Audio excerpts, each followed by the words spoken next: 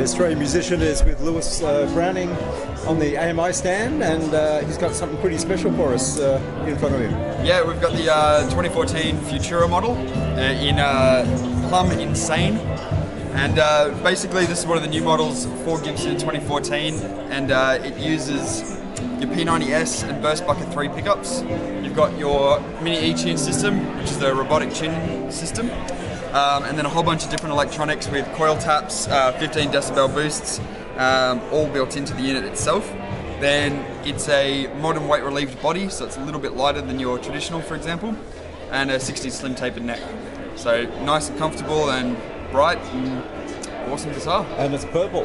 And it is purple or gold or green or blue or red.